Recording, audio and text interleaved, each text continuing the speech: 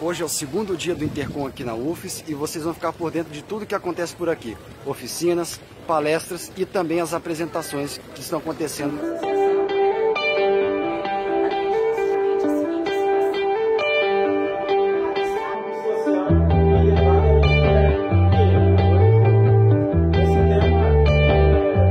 Estava bastante nervosos, né? Bastante nervosa, mas no final deu tudo certo. Eu achei que ia ser pior. Eu achei que a pressão ia ser pior, mas é, a gente se sentiu em sala de aula, apresentando o projeto normal. Apesar do nervosismo, a gente já tem a expectativa do projeto, né?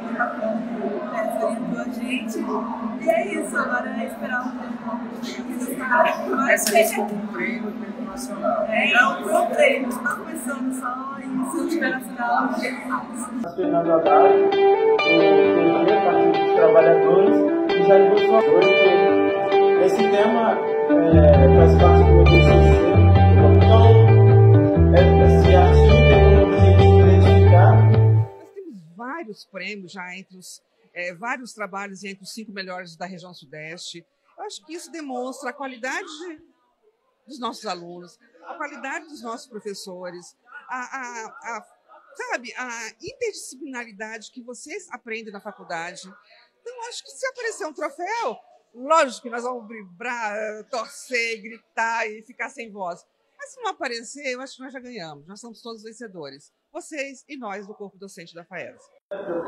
Estamos aqui hoje com o Kenneth Cupertino, que vai apresentar seu trabalho no Intercom Júnior. Kenneth, conta pra gente o que é o Intercom Júnior e como está a sua expectativa para esse seu trabalho, que também já é um passo para o seu TCC. É, o Intercom Júnior é apresentação de artigos científicos, né? Então, juntam aqui artigos de toda a região sudeste para debater um tema específico. Então, cada um vem aqui na frente, apresenta o tema e aí depois a gente debate sobre o tema, que aqui está sendo desinformação, resistência e fake news, né? Nessa parte assim de notícias falsas.